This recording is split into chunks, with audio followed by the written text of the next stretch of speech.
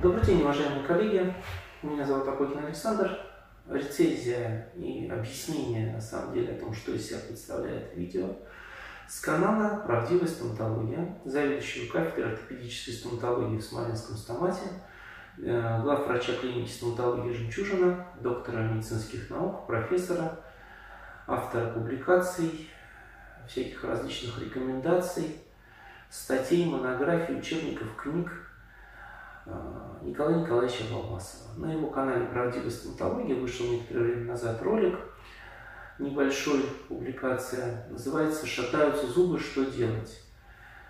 Ролик небольшой, он занимает там около 6 минут, но он очень странный. Очень странный, потому что Николай Николаевич, так он, в принципе, очень здорово, очень обширно рассмотрел причины э, начало подвижности зубов, вот, но э, реально очень поверхностно. И главное, для меня удивительно, почему он скрыл от, от всей честной публики, от аудитории там, в 100, там, 30 с лишним тысяч подписчиков, очень интересный метод лечения подвижности зубов – который э, он, собственно говоря, в свое время очень много изучал, работал, разрабатывал клинические рекомендации, оптимизации, всякие показания. Так называемый метод эндодонта эндоосального шимирования зубов или эндодонта эндоосальной имплантации. Я просто в замешательстве. Тема чумовая абсолютно.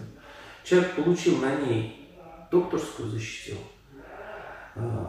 как бы сделал карьеру и ни звука, ни слова о таком интересном на самом деле методе, как эндодонт эндосальная имплантация. Николай Николаевич, ну что вы скромничаете? Ну интересная же штука.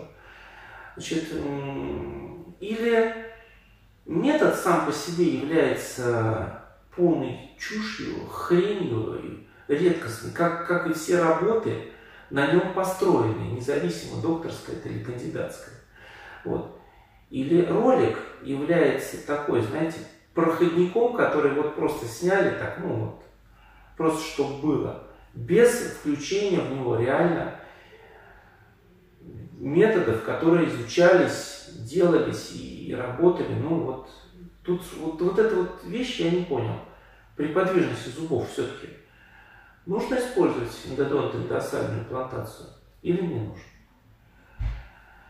А, удивительно, что нет рекомендаций зашимировать 50 зубов коронками, например, в этом ролике. Тоже, вот, причем в предыдущих роликах можно, там, ради бегелька, 10 зубов в короночке одеть, а здесь вдруг стали шататься зубы. Почему не порекомендовать пациентам, ну это же, это же ортопедия, Николай Николаевич, вы же, вы же это в предыдущих роликах постулируете с, с такие методы лечения зубов по, по, по поводу и без повода. Там одного зуба нету, три коронки, там бюгель надо зафиксировать, 10 коронок. Ну, в общем, алогизм. Очень такой глубоко укорененный алогизм, на самом деле, который с собой скрывает очень серьезные, такие, скажем, глубинные проблемы как и высшего образования, как и системы а, присвоения научных степеней в России. Ну и, конечно же, контент, как всегда, такой вот мягенькое что-то такое, тепленькое. Вот, вот на этом канале, как обычно. Комментарии не требуются, но эндодонта, эндосальная имплантация, уважаемые коллеги, с этим надо разбираться.